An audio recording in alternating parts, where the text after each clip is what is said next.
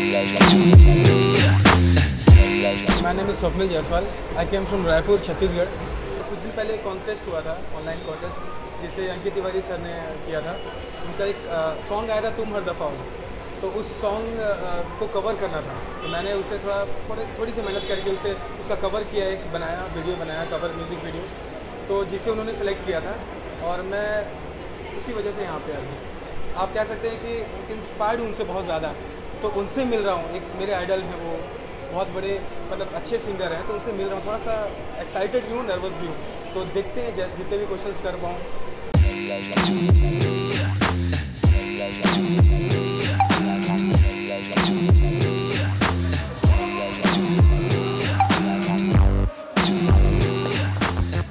Actually very nervous meeting you for the first time हमारे हमारे सामने काफ़ी सवाल थे उनके पास तो आप पूछ सकते हो इंस्पिरेशन एवरी थिंग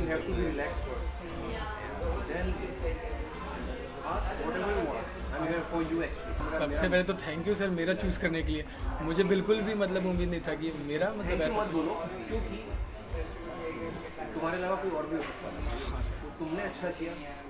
तुमने दिल से कि बहुत लोगों ने अच्छा किया। मेरा मतलब ये हाँ। मतलब नहीं कि उन्होंने अच्छा नहीं किया। सही बात। सबकी कोशिश मुझे अच्छा ही लगा इमोशनली इसलिए अटैच हूँ क्योंकि ये नॉन फ़िल्म है। सबने इतना कवर किया सबने इतना उस गाने को प्यार दिया। सो वो अच्छा है।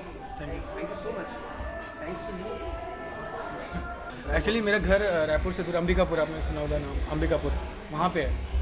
तो वहाँ पे उतना बड़ा टाउन नहीं है छोटा है। तो रूम में ऐसे ही बेडरूम में मैंने सेटअप रखा है इससे करता हूँ। तो बनाते रहते हो? ज़्यादा तो नहीं। आपका था और एक दो गाने और बस किया था। ओरिजिनल्स भी मैं कंपोज करता हूँ कुछ। अगर ऐसा है हाँ सर। कि अगर तुमने शुरू शुरू किया है हाँ सर। हाँ सर। उस हिसाब से बहुत अच्छा है। थैंक यू सर एक सिंगर कहीं भी गा सकता है। तेरी बारिशें भिगाए मुझे। तेरी हवाएँ बहाए मुझे। सा सो स्वप्निल मुझे एक्चुअली तुमसे मिलके बहुत अच्छा लगा और मैं तुमको थैंक्स बोलना चाहूँगा कि तुमने अ, मेरा नॉन फ़िल्म का इतना अच्छा कवर किया और फाइनली हम लोग मिले।